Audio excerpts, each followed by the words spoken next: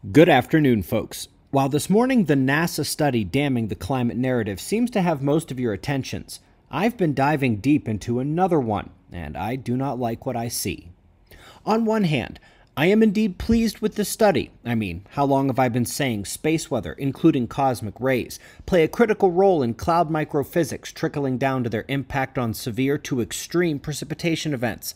By the way, I've linked the full PDF of the study for you here, where they not only confirm the correlation with cosmic rays, but they peg a surge to a fairly devastating extreme rain event last September.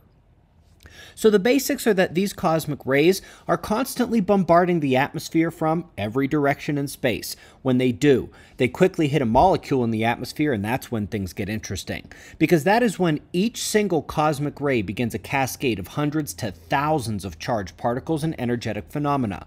These juice up the atmosphere, including water droplets and the dust they cling to to make the clouds.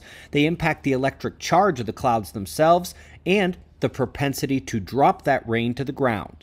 One of these occurs from every square meter of the atmosphere every second. Yes, we are in a soup of these particles at all times.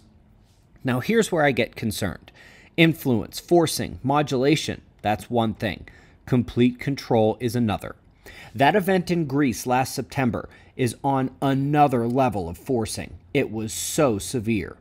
As much as I applaud the basis of this space weather science in forcing atmospheric dynamics, this is too much. I can tell you that without the weakening of Earth's magnetic field and the pole shift, this level of extreme doesn't happen.